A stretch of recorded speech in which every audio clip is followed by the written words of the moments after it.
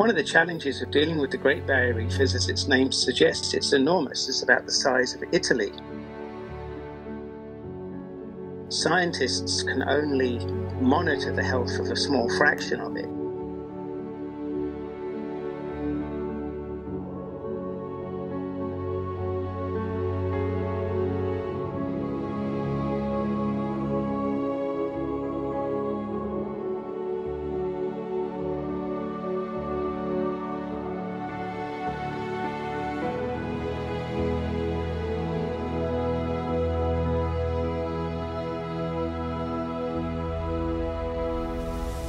There are some things that we really need, such as simple reconnaissance information that you can get from a handful of photographs from a reef taken underwater, that's well within the capability of anybody with a camera. And so we're trying to mobilize the enthusiasts there to get out to a large number of reefs and take a series of photographs that can be analyzed both by them, by experts, but also from people around the world who want to get involved from their armchair.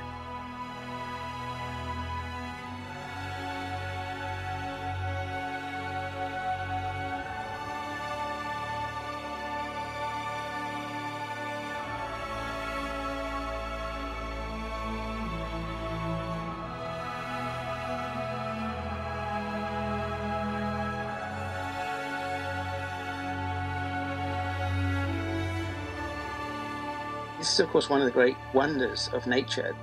All of these corals will spawn simultaneously, and we know that some reefs are much more important than others at driving recovery. The most important reefs will be those that are still in a pretty good shape now, so they have lots of adults, so they can produce lots of eggs, but they're also in the position so that they send those new corals to places in need.